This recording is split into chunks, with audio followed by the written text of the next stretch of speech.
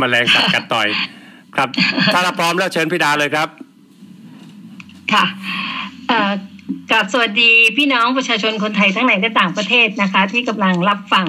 รายการอัศวินโต๊ะกลมตอนเข็มทิศประเทศไทย สวัสดีค่ะท่านเลขาจารุพงษ์เรืองสุวรรณเลขาธิการองค์การ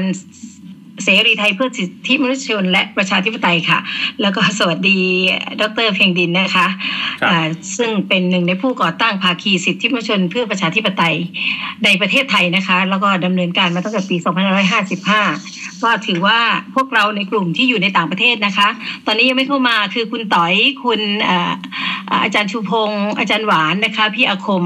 ก็คิดว่าอีกสักเข็มทิศประเทศไทย เดี๋ยวพี่ดาจดเวลาตัวเองก่อน ศูนย์สี่จุดสี่สี่ค่ะพี่น้องคะ เนื่องจากว่ารายการของเราเนี่ยนะคะ ชื่อรายการอัศวินโตกลมคือพวกเราเนี่ยปกติแล้วเนี่ยเราจะเจอเจอกัน แล้วก็พูดคุยกันว่าด้วยเรื่องการเมืองไทย แล้วก็อดีตผ่านมายังไง อนาคตเป็นยังไง สถานการณ์การเมืองในแต่ละสัปดาห์ เราก็จะมาวิเคราะห์กัน แล้วก็ในช่วงนี้เนี่ยในคณะของเราก็ โดยท่านจารุพงศ์นะคะก็เห็นว่าสถานการณ์การเมืองในประเทศไทยในวันนี้เนี่ยแทนที่เราจะนั่งคุยกันอยู่ในแวดวงของเราเนี่ยนะคะในแวดวงของ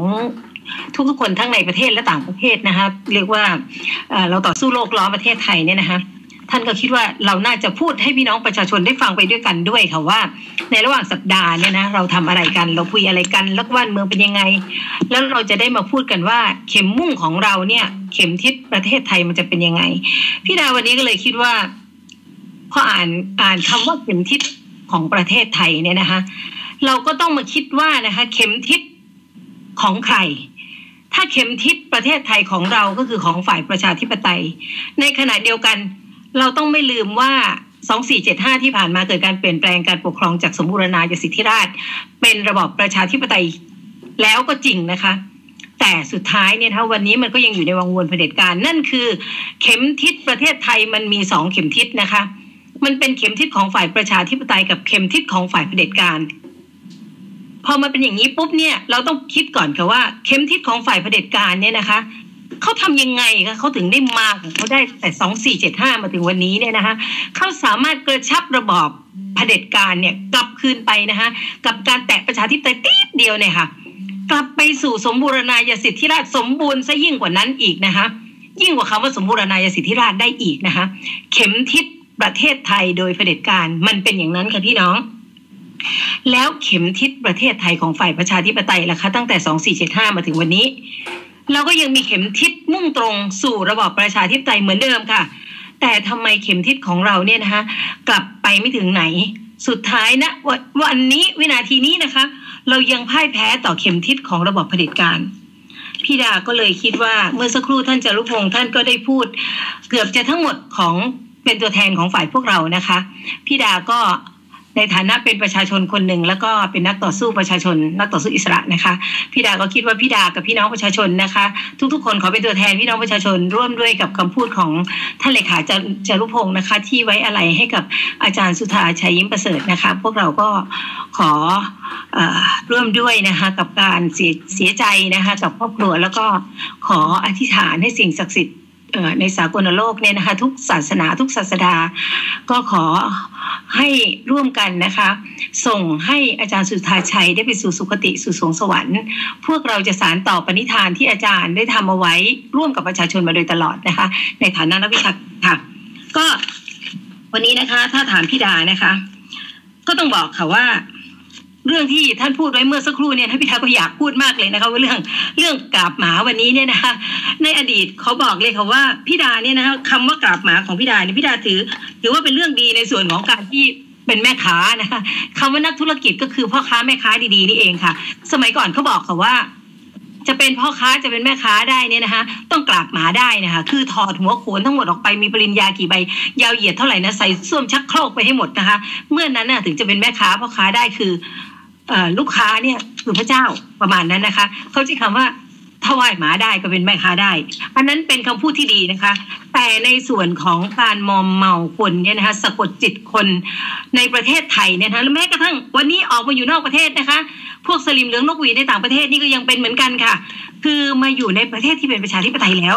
แต่ประหลาดมากเลยค่ะ กลับยังย้อนยุคตัวเองเนี่ยนะคะเป็นทาส เป็นเรียกว่าอยากยังยอมอยู่ใต้ฝ่าเท้าของใครก็ได้นะคะ ที่มอมเมาให้เราหลงไหลว่าสิ่งอื่นๆเนี่ยครับเป็นเทวดาเป็นสิ่งศักดิ์สิทธิ์ขูดต้นไม้เนี่ยหาเลขอะไรอย่างเงี้ยนะคะ จนวันนี้เนี่ยต้องบอกเลยค่ะว่าในอดีตเนี่ยนะใครจะรักใครจะสร้างอนุสาวรีย์ไว้ให้ใครกราบใครเนี่ยนะคะมันก็ขึ้นอยู่กับการเวลาที่เปลี่ยนแปลงไปเนี่ยนะคะคนคิดได้ว่า สิ่งเหล่านั้นเนี่ยไม่ว่าในต่างประเทศหรือในประเทศเนี่ยนะที่เป็นสิ่งที่ปั้นขึ้นมาแล้วให้คนไปรักไปศรัทธาเนี่ยนะถูกค่นล้มลงมาก็เยอะนะพังลงมาก็เยอะค่ะ แต่ยังรักษาเอาไว้ให้ระลึกถึงก็มีเยอะ แต่วันนี้ที่บอกว่าในอดีตนะคะก่อนที่จะมีศาสนาพุทธศาสนาคริสต์อะไรก็ตามเนี่ยในอดีตเนี่ยนะเขาไหว้นะคะพระพุทธรูปปั้นนู่นปั้นนี่ขึ้นมากุกราบไหว้กันงมงายไปนะคะ แล้วก็หลงไหลกันตรงนั้น จนกระทั่งวันหนึ่งมีคนบอกว่าไม่ใช่ไม่ใช่ ก็ มีเขาเรียกว่าอะไรนะล่าแม่มดใช่ไหมคะไม่กราบแบบนั้นอย่างนั้นเนี่ยนะเอาเป็นบูชายันกันเลย แต่เสร็จแล้วเนี่ยนะมาถึงวันนี้ก็ไม่อยากจะเชื่อค่ะอย่างที่ท่านจารุพงศ์พูดเมื่อสักครู่ว่าฮะไปไปถึงขนาดนี้เลยเหรอว่า มีการทำพิธีกราบหมา คือจริง ๆ ถ้าถามพี่ดานะคะว่า ใครรักอะไร เวลาตายไปนะเอาเสื้อใส่เข้าไปให้แหวนสร้อยของใช้ที่ชอบนะใส่ลงไปด้วยเผาไปด้วยกันอะไรยังไงเนี่ยนะคะมันเป็นเรื่องธรรมดาของมนุษย์ไม่ไม่มีใครว่าอะไร แล้วยิ่งเป็นคนที่เอ่อของประเทศเนี่ยนะคะคืออย่างเช่น อย่างเช่นว่าที่จะเกิดจะเกิดขึ้นคือในการพระราชทานอะไรไม่ใช่พระราชทานเพลิงถวายพระเพลิงพระศพของ พระเจ้าอยู่หัวรัชกาลที่เก้าเนี่ยท่านมีอะไรที่ท่านรักท่านชอบจะปั้นจะอะไรใส่ตั้งเอาไว้ท่านไม่มีปัญหาค่ะ แต่การทำพิธีกับการที่เรียกว่าปั้นขึ้นมาแล้วเนี่ยนะต้องถึงขนาดต้องทำพิธีใหญ่โตยกขึ้นมาแห่เหมือนกับยุคสมัยก่อนพุทธพุทธกาลก่อนคริสตกาลเนี่ยนะคะพี่ดาก็ว่า มันงมงายหรืออย่างที่ท่านจารุพงศ์บอกนะ ไปตัดต้นไม้มาเพื่อที่จะสร้างอะไรที่จะใช้ตรงนี้ค่ะ ก็กราบไหว้กันมา ทั้งทั้งที่มันก็คือท่อนไม้นะคะกราบท่อนไม้มันก็ไม่ได้เกิดอะไรขึ้น กราบหมาจะกี่ตัวมันก็ไม่ได้เกิดอะไรขึ้นนะคะ แต่ทำไมต้องทำแบบนั้นเนี่ยนะมันทำให้มันทำให้เหมือนกับคนไทยเนี่ย มันย้อนยุค ย้อนยุคความนึกคิดเนี่ยค่ะ ทั้งทั้งที่การศึกษาก็สูง มีคือคนส่วนใหญ่เนี่ยนะที่ที่คิดแบบนี้อยู่เนี่ยนะคะมันไม่ใช่ประชาชนชาวไร่ชาวนาชาวสวนนะคะเขาคิดได้ค่ะเขารู้ค่ะว่าการรักศรัทธาหรือการชื่นชมนิยมยกย่องหรือรู้สึกดีกับใครจนกระทั่งถึงขนาดไปกราบไหว้กันได้เนี่ย มันต้องอยู่ที่ผลงาน แต่วันนี้ก็ไม่ต้องแปลกใจค่ะดรคะเขาบอกว่า ประเทศไทยนี่นะคะได้รับการประกาศแล้วนะคะ ว่าพลเมืองโง่เป็นอันดับเจ็ดของโลกนะคะ อาจารย์กฤษณพงศ์พรมบึงรำนะคะ เป็นคนโพสต์ขึ้นไปที่ให้เราได้เห็นกันนะคะว่ามาจากโดยอะไรนะคะน่าจะเป็นอะไรนะ IPSOS MORI เนี่ยค่ะพี่ดาก็ไม่รู้ว่าองค์กรอะไรนะคะเขาไปสำรวจมาแล้วเขาบอกว่าพลเมืองประเทศไทยเนี่ยโง่เป็นอันดับเจ็ดของโลกโลกนี้มันมีเกือบสองร้อยประเทศแล้วนะคะโง่เป็นอันดับเจ็ดของโลกเนี่ยนะคะมันโง่ทางไหนกันบ้างเนี่ยค่ะ ก็ต้องบอกนะคะว่าสิ่งนี้ค่ะ ที่ทำให้พี่ดามีความรู้สึกสลดหดหูใจมาก กับการที่ทุกวันนี้เนี่ยนะคะ กล้วยมันออกมาเป็นเครือเนี่ยเป็นนับกี่เครือนะคะแล้วก็ไปผูกผ้าผูกอะไรไหว้แล้วจะไปขอตัวเลขอะไรอย่างเงี้ยนะคะ แล้วก็มาวันนี้เนี่ยกับการทำพิธีกราบหมาเนี่ยพี่ดาก็ว่าเกินไป เพราะว่าก่อนหน้านั้นเนี่ยนะมันก็มีภาพเนี่ยนะที่หมาเดินไปทางไหนแล้วมีคนจะต้องกราบหมาอย่างเงี้ยนะคะ อันนั้นก็เรียกว่าอับอายมากแล้วนะคะ แล้วก็ วันนี้เนี่ยค่ะ สิ่งที่เราจะต้องพูดถึง เนื่องจากวันนี้ก็ตรงกับประเทศไทยเป็นวันที่ 27 สิงหาวันที่ 27 กันยายนเนี่ยนะคะเป็นวันที่จะมีการอ่านคำพิพากษาคดีจำนำข้าว โดยผู้ที่จะถูกอ่านคำพิพากษาคือนายกรัฐมนตรีหญิงคนแรกของประเทศไทยนะคะคุณยิ่งรักชินวัตรนะคะ ก็ต้องบอกเลยค่ะว่า คดีจำนำข้าวเนี่ยนะคะเป็นคดีประวัติศาสตร์ วันนี้เราจะต้องพูดถึง เพราะมันจะต้องถูกจารึกในประวัติศาสตร์ว่า นายกรัฐมนตรีของประเทศไทย ซึ่งดำเนินนโยบายตามที่สัญญาไว้กับประชาชน แล้วก็ชอบด้วยกฎหมายค่ะ แต่กลับจะมาโดนวิบากกรรมกับคดี ซึ่งอาจารย์ปียบุตรแสงกนกุลนะคะ ก็ได้พูดถึงบทบาทของฝ่ายตุลาการในประเทศต่างๆ ในโลกเนี่ยนะคะแล้วก็เปรียบเทียบว่าประเทศต่างๆ ในโลกเนี่ยที่มีบทบาทของฝ่ายตุลาการกับประเทศที่เป็นมีการรัฐประหาร เป็นผลิตการเนี่ยนะคะกับองค์การตุลาการในระบอบการเมืองในสมัยใหม่เนี่ยค่ะว่าตุลาการพิวัตรของประเทศไทยเนี่ยนะซึ่งเป็นช่วงของเผด็จการตั้งแต่สองสี่สองห้าสี่เก้าแล้วก็สองห้าห้าเจ็ดเนี่ยนะคะเปรียบเทียบก็คือถ้าถามพี่ดาก็คือ มันเกิดตุลาการวิบัตินะคะไม่ใช่ตุลาการพิวัตรเนี่ยตั้งแต่สองห้าสี่เก้ามาจนถึงสองห้าห้าเจ็ดก็คือผู้นำของประเทศเนี่ยโดนวิบากกรรมตุลาการวิบัติ แล้วก็ประชาชนเนี่ยนะคะก็เท่ากับว่าตั้งแต่สองสี่สองห้าสี่เก้าเนี่ยเป็นต้นมาเนี่ยจะเป็นภาพที่ชัดเจนมากนะคะ กับการที่สารรัฐประหารตุลาการในระบอบเผด็จการ และกายอาจารย์ปิยบุตรใช้คำว่า นิติรัฐประหารนะคะ ไม่ใช่นิติรัฐนิติธรรมนะคะ วันนี้ประเทศไทยไม่ได้มีนิติรัฐไม่ได้มีนิติธรรม แต่เป็นตุลาการระบอบเผด็จการ และก็เป็นนิติรัฐประหารค่ะ ก็เลยทำให้พี่ดามีความรู้สึกว่า วันนี้เนี่ยนะคะก็มีอีกสิ่งหนึ่ง ซึ่งอยากจะบอกกับพี่น้องประชาชนค่ะว่า เข็มทิศประเทศไทยของประเด็จการเป็นอย่างนั้น แต่เข็มทิศประเทศไทยของเราเนี่ย เราจะมุ่งไปยังไง แต่เข็มทิศของโลกเนี่ยนะคะ เข็มทิศที่มองมุ่งตรงมาสู่ประเทศที่เป็นประเด็จการทั้งหลายแหล่เนี่ยนะคะ เขาบอกว่า UN บอกว่าได้จัดให้ ประเทศที่อยู่ในกลุ่มรังแกนักเคลื่อนไหวก็คือ นักเคลื่อนไหวต่อต้านรัฐบาลของทุกๆ รัฐบาลที่ไม่ได้ทำงานถูกตาถูกตาถูกใจประชาชน ซึ่งถ้าจะถูกตาถูกใจประชาชนประชาชนไม่ได้อยากได้อะไรมากเลยค่ะ แก้ปัญหาเศรษฐกิจสังคมการเมืองภัยธรรมชาติ แล้วก็จัดหาโอกาสจัดสร้างโอกาส แล้วก็จัดสรรงบประมาณ จัดการทางด้านอะไรนะให้ ยุติธรรมให้กับประชาชนเนี่ยนะคะให้ถูกต้องให้เขาเรียกอะไรนะสอดคล้องกับความเปลี่ยนแปลงของโลกนะคะแต่วันนี้ UN จัดประเทศที่อยู่ในกลุ่มรังแกนักเคลื่อนไหวในยี่สิบประเทศนะคะ ประเทศไทยเนี่ยนะเขาเรียกว่าอันดับหนึ่งเลยนะคะแล้วยังมียกตัวอย่างอิหร่าน อิสราเอล เม็กซิโก โมร็อกโก อย่างเงี้ยค่ะ ซึ่งฟังดูแล้วเป็นเรื่องเป็นเรื่องน่าตกใจ แล้วก็เป็นเรื่องที่บอกได้เลยค่ะว่าวันนี้ เข็มทิศของประเทศไทยประชาชนจะไปทางไหนล่ะคะ ประเทศไทยประชาชนจะต้องมุ่งเข็มนะคะมีเข็มมุ่ง แล้วก็ตั้งเข็มเข็มทิศของตัวเราเองไว้เลยนะคะว่าวันนี้เนี่ยเมื่อทุกสิ่งทุกอย่างเนี่ยนะคะมันเป็นอย่างที่พี่ดาบอก แล้วก็คดีจำนำข้าววันที่ 27 นี้นะคะณวินาทีนี้ ยังไม่มีผลออกมา เพราะว่ามันจะต้องอ่านอะไรก็ตามนี่นะจะต้องด่าด่าด่าด่ารัฐบาลฝ่ายประชาธิปไตย รัฐบาลที่มาจากอำนาจของประชาชน รัฐบาลที่ทำงานเพื่อประชาชน รัฐบาลที่ดูแลกฎหมายเอื้อประโยชน์ให้กับประชาชนคนทั้งประเทศเนี่ยนะคะเดี๋ยวอีกสักครู่ในช่วงท้ายๆเนี่ยนะอาจารย์หวานคงเกาะติดสถานการณ์ถ่ายทอดสดตรงนั้นอยู่ คงจะเข้ามาบอกกล่าวให้เราได้ทราบกัน ดังนั้นวันนี้เนี่ยนะคะ สองเรื่องในประเทศไทยที่เรามองดูก็คือความยุติธรรมที่มันอายุติธรรมทุกทุกสิ่งทุกอย่างมีคนพูดอยู่เรื่อยเลยนะคะ อุ้ยคดีจำนำข้าวคดีนู่นคดีนี่มันเป็นเรื่องคอร์รัปชันเนี่ยแก้ง่ายมาก แก้ยังไงคะ แก้โดยการไปดูเรื่องราคากลางตั้งราคากลางเลยโอ้ไม่ต้องเลยค่ะพี่น้องประชาชนคะตรงนั้น มันเป็น เกล็ดมันเป็นปลีกย่อย แต่สำคัญที่สุดก็คือประเทศไทยต้องเปลี่ยนระบอบให้เป็นประชาธิปไตยเท่านั้นค่ะ เข็มทิศของประชาชน เข็มทิศของพวกเราทุกคนนะคะ คือเข็มมุ่งเปลี่ยนระบอบให้เป็นประชาธิปไตยค่ะ ค่ะงั้นช่วงนี้พี่ดาขอแค่นี้ก่อนนะคะดรคะครับขอบคุณครับพี่ดารุณีกฤษบุญยาลัยนะครับ เวลาตัวเองก่อนเอ่อไหนละเนี่ย โอเคค่ะสองสี่นะ จะได้รู้ว่าเลขเก้าจบค่ะ ค่ะพี่น้องคะจากการที่เมื่อสักครู่นี้เนี่ยนะคะ ประเด็นหลักในการที่เราพูดก็คือเข็มทิศประเทศไทย แล้ววันนี้เข็มทิศมาพูดในวันนี้ก็คือวันที่นายกยิ่งลักษณ์ถูกพิพากษาซึ่งเเมื่อสักครู่อาจารย์หวานส่งเข้ามาว่าไทยรัฐแท้ๆนะคะ บอกว่าห้าห้าปี แต่ตอนนี้ก็มีข่าวเข้ามาอีกค่ะว่า มันยัง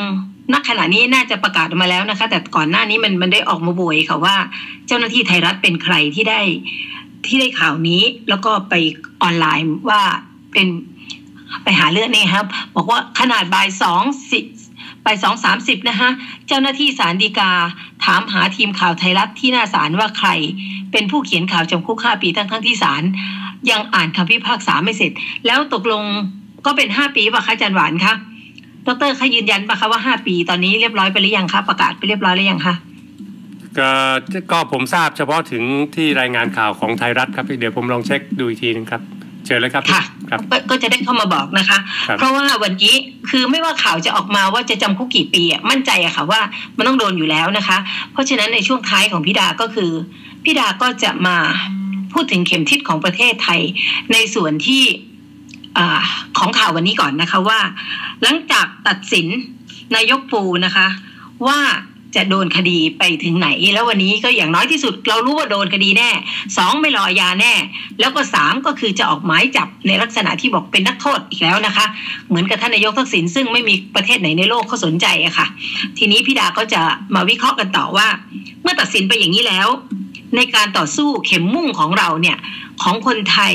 ของในฝ่ายของนายกรัฐมนตรี อดีตนายกรัฐมนตรีสองคนพี่ดาไม่อยากใช้คำว่าอดีตนายกรัฐมนตรีนะคะเพราะว่าการถูกปล้นอำนาจของประชาชนไปเนี่ยนะคะถ้าเผื่อเราล้มมันได้เนี่ยนะคะนนายกทั้งสองท่านเนี่ยนะก็จริง ๆ ในวันดำรงตำแหน่งอยู่ถูกปล้นไปเนี่ยนะท่านก็ยังมีศักดิ์และสิทธิ์ของความเป็นนายกของประเทศไทยอยู่เหมือนเดิมอะค่ะพี่ดาจึงไม่ยอมเรียกนะคะว่าเป็นเป็นนายกอดีตนายกนะคะ ทีนี้เรามาพูดกันว่า เมื่อตัดสินนายกบูไปแล้ว ตัวท่านนายกทักษิณก็อยู่ต่างประเทศไป 11 ปีแล้วนะคะหลังตัดสินนายกบูเนี่ยนะคะก็มีผู้รู้สื่อผู้สื่อข่าวเนี่ยนะคะในฝากฝั่งที่วิเคราะห์การเมืองค่อนข้างจะเอียงข้างไปทางฝ่ายเผด็จการเนี่ยนะคะเขาก็บอกมาว่าเออหลังการตัดสินนายกบูเนี่ยนะคะจะต้องจะต่อสู้ต่อไปหรือยุติบทบาททางการเมือง อะมาเขาเขาเรียกนะฮะพ่อหมอทำนายบอกว่า นายกยิ่งรักษณ์หรือว่าฝ่ายประชาธิปไตยของเราเนี่ยนะคะจะเกิดการต่อสู้โดยโดยท่านนายกทักษิณนายกปูประมาณนั้นนะคะว่าจะต่อสู้ต่อไปหรือจะยุติบทบาททางการเมืองมาอะมามาฟังสิ่งที่เขาวิเคราะห์ก่อนนะคะเขาบอกว่านายกทักษิณน่ะเหรอจะสู้ต่อไปนะไม่ง่ายหรอกแม้จะมีเงินมีบารมีในพักยังมีมวลชนสนับสนุน แต่คอสชยึดอำนาจเนี่ยนะคะมีอำอำนาจที่ไม่ธรรมดาและไม่เคยกลัวทักษิณโปรดฟังอีกครั้งหนึ่ง มีอำนาจที่ไม่ธรรมดาและไม่เคยกลัวทักษิณแล้วก็ได้อำนาจเต็ม มีแบบแผนแม่บทนะคะ ต้องบอกว่าแบบแผนแม่บทวงเล็บพิดาขอบอกนะแม่บทโคตรพ่อโคตรแม่มันนะขอไปที่พูดกันไม่สุภาพนะคะ ที่จะดำเนินการทางการเมืองเพื่อที่จะชนะกับฝ่ายประชาธิปไตยอย่างชัดเจนนะคะ เพราะว่าได้กำหนดยุทธศาสตร์ไปแล้วตั้ง 20 ปี มีแบบแผนการปฏิรูปนะคะประเทศตั้ง 11 ข้อนะคะ มีกฎหมายรองรับชัดเจน มีการควบคุมอำนาจอย่างต่อเนื่องชัดเจน ต่อไปคือจะต้องเป็นรัฐบาลเผด็จการอย่างนี้นะนะมันจะไม่มีเลือกตั้งเนี่ยนะประมาณอย่างนั้นนะคะ อย่างน้อย 5 ปี แล้วนอกจากนั้นรัฐบาลหลังการเลือกตั้งก็ยังต้องดำเนินตามไอ้แผนแม่บทของมันเนี่ยนะคะเพราะฉะนั้นพี่ดาจึงขอกลับมาอธิบายค่ะว่า บอกว่านายกทักษิณเนี่ยนะฮะสู้ต่อไปไม่ง่าย เงินมีบารมีมี มวลชนมี เงินมีไม่เอามาใช้หรอกค่ะ กับการสู้กับมันเพราะอะไรคะเพราะมันเอาเงินภาษีของประชาชนสู้กับประชาชนอยู่ทุกวันนี้นะคะ เพราะฉะนั้นบารมีมีไหมบารมีในพักบารมีต่อประชาชน ยังมีมวลชนสนับสนุนไหมก็ยังจะต้องมีต่อไป เพราะว่าฝ่ายประชาธิปไตยเนี่ย ท่านมีบารมีในส่วนที่ได้ใจประชาชน ตั้งแต่รัฐบาลนายกทักษิณนายก สมัครนายกสมชายจนนายกยิ่งรัก ทุก ๆ นโยบายเนี่ยนะอิงอยู่กับประชาชนดังนั้น บารมีและก็มวลชนสนับสนุนก็จะยังมีต่อไป และก็ประชาชนไม่ได้สนใจว่าในส่วนของบุคคลเนี่ยนะคะอยู่ในหัวใจ แต่ในส่วนของประชาชนแล้วเนี่ยนะคะมวลชนจะสนับสนุนซึ่งกันและกันในการที่จะต่อสู้นะคะ แล้วมันก็บอกว่า อุ้ยสู้ที่สู้มันไม่ได้ เพราะว่ามันมีอำนาจที่ไม่ทำไม่ธรรมดา อำนาจที่ไม่ธรรมดาพี่น้องฟังไว้เลยนะคะอำนาจที่ไม่ธรรมดาเป็นอำนาจมืดอำนาจอำนาจมือที่มองไม่เห็นและกลุ่มก้อนของเผด็จการย้อนยุคกลับไปยิ่งกว่าเผด็จการสมบูรณาญาสิทธิราชนั่นไงคะนี่ค่ะ นี่คือพูดออกมาชัดเจนให้พี่น้องประชาชนได้เห็นแล้วนะคะ แล้วใช้คำว่าไม่เคยกลัวทักษิณใครบอกเขาว่าไม่เคยกลัวทักษิณกลัวฉิบหายแต่โหงเลยค่ะ ถ้าไม่กลัวจริงนะคะ ไม่ใช้วิธีการ บล็อกไอทีระบบไอทีทั้งหมดเนี่ยนะกับการพยายามจะเข้าไปแทรกแซงหรือพยายามควบคุมเสียงของพวกเราในต่างประเทศนะคะ เพราะฉะนั้นกลัวฉิบหายตายโหงค่ะ แล้วก็ที่บอกว่า มีอำนาจเต็มมีแบบแผนแม่บทนี่อะค่ะพี่ดาวบอกว่านี่คือเข็มทิศของฝ่ายมันนะคะ มันมีแม่แบบของมันมาตลอดเวลานะ แบบแผนของมันมาตลอด และวันนี้เนี่ยนะคะ ต้องบอกว่ายึดอำนาจเมื่อ 19 กันยา49 บอกเลยไงบอกว่าเสียของ เพราะฉะนั้นวันนี้ มันจึงจะต้องดำเนินการทางการเมืองโดยมีแบบแผนแม่บทอะไรของมันนี่นะคะเพื่อที่จะให้ได้ชัยชนะชัดเจนนะคะ เพราะฉะนั้นโปรดฟังอีกครั้งหนึ่ง มันมีโคตรพ่อโคตรแม่แม่บทของมัน เพื่อที่จะชนะอย่างชัดเจน กระชับอำนาจเผด็จการ ให้เราเนี่ยยังอยู่ภายใต้ระบบเผด็จการเบ็ดเสร็จเด็ดขาดยิ่งกว่าสมบูรณาญาสิทธิราชเนี่ยนะคะดังนั้นฝ่ายของของเราเนี่ยนะคะจะต้องคิดกันอย่างไร แล้วมันยังมีหน้ามาบอกอีกนะคะว่า มันบอกมันไม่กลัวนะคะ ไม่กลัวทักษิณไม่กลัวประชาชนในประเทศไทย แต่มันขนาดมันเขียนรัฐมนูล60 ออกมาแล้วนะคะมันยังมาจบด้วยคำพูดที่ว่าว่าแต่ว่ามีเลือกตั้งหลังจากที่มันจะมีเลือกตั้งให้แล้วเนี่ยนะะทั้งหมดมันยังควบคุมอยู่ภายใต้รัฐมนูล60ได้ก็จริงแต่มันยังตบท้ายบอกว่า ดูว่าตอนเลือกตั้งแบบนั้นเนี่ยยังจะมีการช่วงชิงตำแหน่งนายกรัฐมนตรีแบบไหน เพราะฉะนั้นนายกรัฐมนตรีที่จะมาจากตรงนี้เนี่ยนะคะ เข็มทิศของมันเนี่ยยังแกว่งนะคะว่า มันจะควบคุมได้จนกระทั่งมันจะได้นายกที่จะมาควบคุมประเทศไทย ให้เป็นเผด็จการได้จริงหรือเปล่า แต่ว่าวันนั้นก็จะคือคำตอบว่าเฮ้ยไม่แน่เหมือนกันนะ ว่าเมื่อได้นายกซึ่งไม่ตรงกับที่มันมันมันต้องการเนี่ย แล้วมันจะเกิดอะไรขึ้น เพราะฉะนั้นพี่ดาก็จึงบอกว่าวันนี้เนี่ยนะคะ ทันทีที่ยังไม่ทันว่าคำตัดสินจะออกมายังไงเนี่ยนะคะพี่ดาไม่รู้หรอกนะคะว่า จดหมายฉบับนี้จะจริงหรือไม่จริงนะคะ แต่มีจดหมายฉบับนี้ออกมาบอกว่า นายกยิ่งรักษณ์เป็นจดหมายจากนายกยิ่งรักษณ์นะคะ ลงวันที่วันนี้ด้วยนะคะ ซึ่งพี่ดาก็ยังไม่รู้อะค่ะว่ามันจะเป็นจดหมายจริงหรือเปล่าแต่ว่าถือว่าเป็นจดหมายที่เขียนได้ดีนะคะ ถ้าไม่จากไม่ออกมาจากใจนายกยิ่งรักษณ์ก็น่าจะออกมาจากใจประชาชนที่ที่คิดแบบนี้ค่ะ เขียนบอกว่ากราบเรียนพี่น้องประชาชนไทยที่รักยิ่ง ก่อนอื่น ดิฉันขอกราบเรียนทุกท่านว่าดิฉันอยู่ในที่ปลอดภัย ขอบพระคุณทุกท่านที่เป็นห่วงค่ะ ขอโทษทุกท่านที่ไม่ได้พบดิฉันที่หน้าศาล อ๋อโอเค อันนี้เป็นจดหมายเก่าไปซะแล้วแล้วลงมาลงมาที่อ้อยี่สิบเจ็ดสิงหาคมขอไปค่ะ เอาละค่ะ ถ้าอย่างนั้นพี่ดาก็จะขอจบช่วงของพี่ดานะคะว่า วันนี้เนี่ยนะคะ ในการต่อสู้ของเราอย่างไรเสียนะคะ เราก็คงจะต้อง เอาบทกลอนของท่านจิตภูมิศักดิ์นะคะมากำกับความนึกคิดของเรานะคะว่า ยุคนี้ขนาดเขียนเอาไว้นานมากแล้วนะคะ วันนี้ก็ยังใช้ได้คือ ถึงยุคทมินมานจะครองเมืองด้วยขวันปืน คือแปรจะพังคลืนและกลิ่นเลือดจะคุ้งคลุ้งข่าว แต่คนย่อมเป็นคนในสายทานอันเหยียดยาว คงคู่กับเดือนดาวพงาดเด่นในดินแดน เพราะฉะนั้นเข็มมุ่งของฝ่ายประชาธิปไตยนั่นคือเปลี่ยนระบอบให้เป็นประชาธิปไตยให้จงได้นะคะ และทุกสิ่งทุกอย่างนะคะมันจะกลับไปสู่สภาวะปกติของมนุษย์ทั่วไปนะคะ ที่คนต้องเท่ากับคนหนึ่งสิทธิ์หนึ่งเสียง กับการเลือกตั้งที่จะต้องเป็นการเลือกตั้งในระบอบประชาธิปไตยกฎหมายจะต้องเป็นกฎหมายที่เป็นกฎหมายที่เที่ยงธรรมต่อทุกๆ คน แล้วเราก็จะได้รัฐบาลที่ เป็นรัฐบาลของประชาชนจากอำนาจของประชาชนค่ะ เปลี่ยนระบอบการปกครองนะคะ เข็มทิศมุ่งของคนไทยค่ะ จบแค่นั้นค่ะ ขอบคุณมากๆค่ะ ก็ขอลาพี่น้องประชาชนไปด้วยนะคะ ในเวลานี้ด้วยค่ะค่ะ แต่ว่าเดี๋ยวจะลาอีกครั้งหนึ่งนะคะ ก็จบตอนนี้พอเอาแค่นี้ก่อนค่ะ ดรค่ะ ครับครับขอบคุณครับพี่ดารุณีนะครับ